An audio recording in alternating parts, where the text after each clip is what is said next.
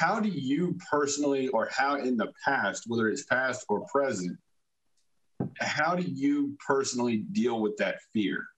You know, because you you have mentioned, you know, from time to time on on these live trainings and at our events and everything, that you at one time and, and still may do consider yourself an introvert.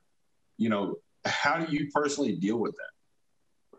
Well, I know I'm an introvert and I always will be because I don't go and seek people out. The only way I can talk to people is if I make myself talk to people. If if I don't watch myself, I will go hide somewhere. You know, I mean, I can have this house could be full of 20 people and I will usually be by myself somewhere.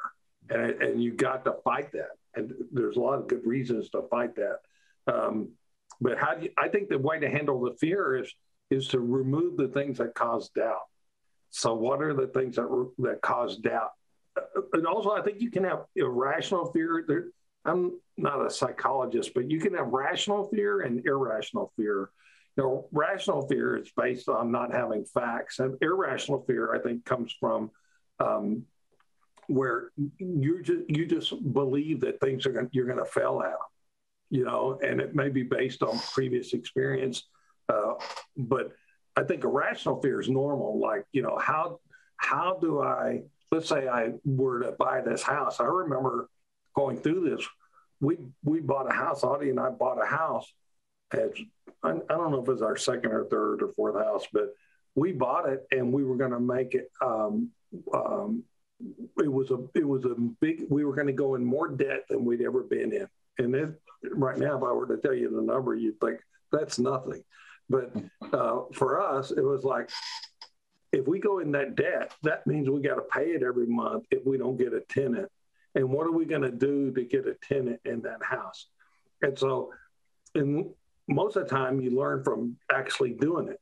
So if we were not sure we were going to get a tenant, but I was hanging out with people that that's how they were making their living. They were they were landlords. They had rental properties, and I'm so I go to those meetings and I say, well, what if the what if you can't find people? How do you advertise for the people? How do you qualify for the people? How do you uh, how do you make them pay in case they don't pay? You know, any rational thing that you could think of that that would cause you to fail, those things create the fear.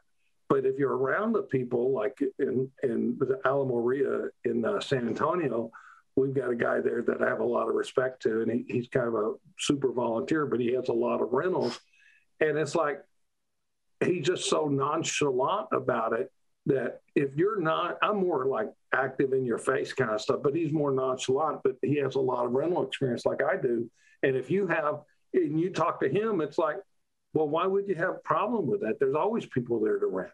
And you just kind of see that. So whatever those things are that scare you, you've got you've got to touch them and feel them and get close enough. And some people, they're they move too fast. They don't need to know all the facts, which is probably wrong too. They're they're they're more uh, spontaneous and they probably make a lot more mistakes.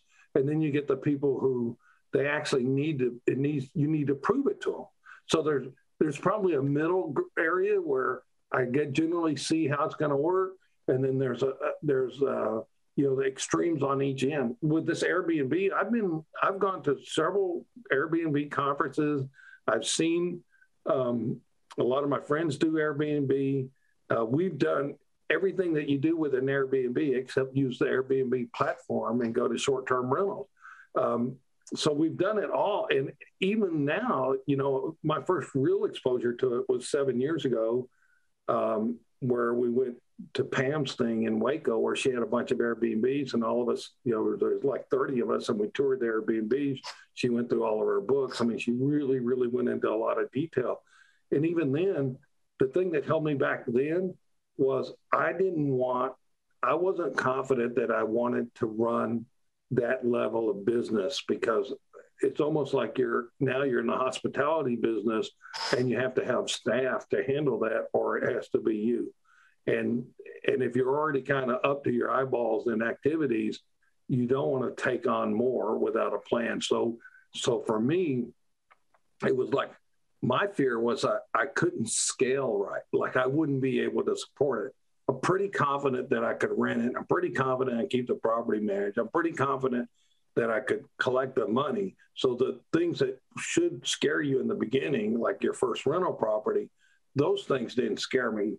I'm relatively confident we could pull that off. What I wasn't totally confident with is we could we could we could manage it in scale.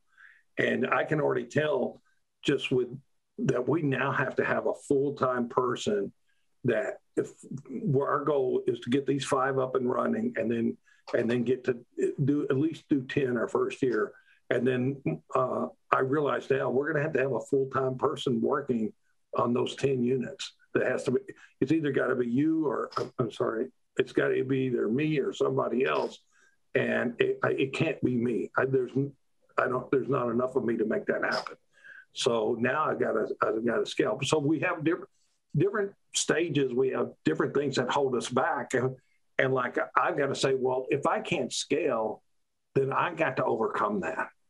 You know like the book um, uh, um, uh, who not how um, you know realizing that hey that's where a weakness i have i have to attack that weakness so i have to figure out how to get better more qualified people to do the things they're supposed to be doing and that's my role now. But in very first, in the beginning, it was just, you know, can I get somebody in there?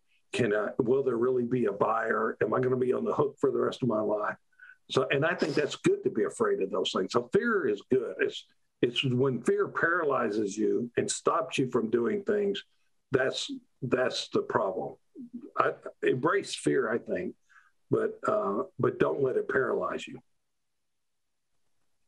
Can you elaborate on that? What do, what do you mean by uh, embrace embrace it, but don't let it paralyze you? Like what gives give a little bit deeper thought on that. Well, when I was an inter, introvert, I really am still. But when I behaved, when I acted, when I was an introvert, and I behaved like an introvert, and I truly was an introvert, I was never going to speak in front of people.